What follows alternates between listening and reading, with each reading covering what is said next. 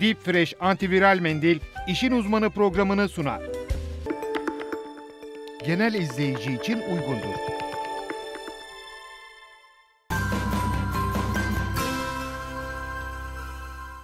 Merhaba, bugün sizlere vergi ahlakı ve vergi bilincini anlatacağım.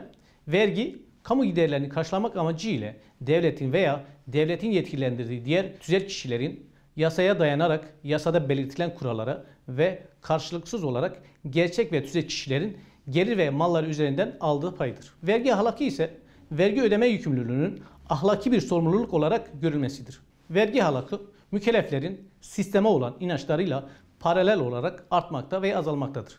Vergi ahlakı mükelleflerin vergi yasalarından doğan yükümlülüklerini gerçeğe uygun bir şekilde yerine getirme konusundaki davranışlarının düzeyidir. Vergi ahlakının yerleştirilmesi bir eğitim, bilinçlenme ve gelişmişlik konusudur. Vergi bilinci ise verginin neden ödendiğinin bilinmesi ve vergilerin yararlanılan kamu hizmetlerinin karşılığı olarak görülmesi demektir. Vergi bilinci, vergiler konusunda kişinin sahip olduğu olumlu ve olumsuz tüm bilgi ve algıların tamamını ifade eder. Kamusal mal ve hizmetlerin sunumunun yerine getirebilmesi açısından verginin önemini bilen mükelleflerin vergi ile ilgili öde ve yükümlülüklerini yerine getirme istek ve arzusunun düzeyine vergi bilinci denir. Vergi bilincinin yüksek olduğu toplumlarda bireyler ödedikleri vergilerin kendilerine ne şekilde döneceğini yani bireyler ödedikleri vergilerin kamu tarafından nelere harcandığını bilirler ve vergi ile ilgili yükümlülüklerini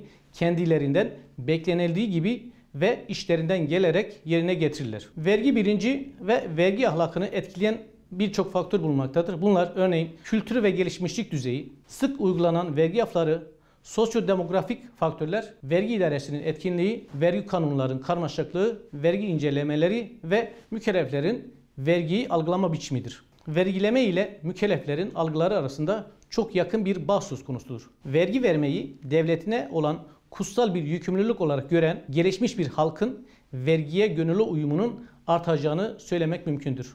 Vergi güçtür. Bilinçli mükellef, güçlü Türkiye. Hoşçakalın. Deep Fresh antiviral mendil işin uzmanı programını sundu.